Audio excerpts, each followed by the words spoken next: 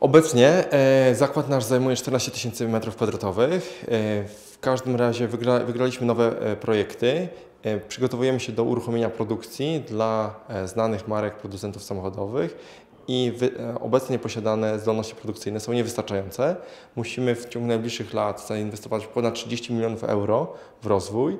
E, rozpoczęliśmy tutaj poszerzanie terenu i rozbudowę o dodatkowe ponad 2000 m2, by zainstalować nowe automatyczne linie produkcji, produkcji zaworów. W tej rozbudowanej części będą znajdowały się e, clean roomy, w których w kontrolowanych warunkach będzie produkcja e, systemów zaworowych, bloków oraz e, elementów do systemów masaży, RSL, takie elementy, które są pompowane i e, oddziaływują na plecy pasażera w fotelu samochodowym. Jeżeli chodzi o wzrost zatrudnienia, planujemy z 1200 e, osób obecnie pracujących zatrudnić dodatkowo 20%.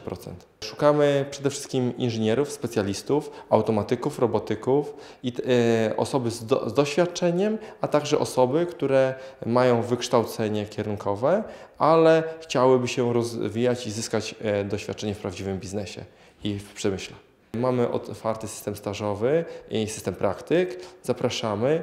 Bardzo ciekawą opcją jest system e, stażu, w którym osoba, która przychodzi na taki program, rotuje pomiędzy różnymi działami. Czyli ma okazję poznać na przykład dział jakości, dział inżynieringu, dział linu, dział utrzymania ruchu. Korzystając powiedzmy ze zdobytej wiedzy, wtedy lepiej orientuje się, co jest najbardziej zbliżone do tego, co chciałaby e, w życiu robić. Co roku mamy dziewięciu stażystów i w ostatnim roku pięciu z nich zostało, znalazło tutaj zatru- zatrudnienie.